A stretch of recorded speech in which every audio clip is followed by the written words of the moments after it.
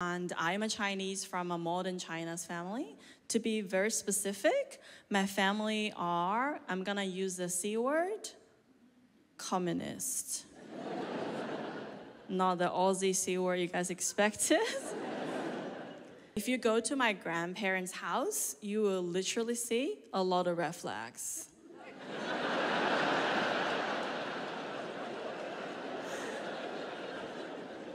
Like to my grandma, any flag that's not red is a red flag.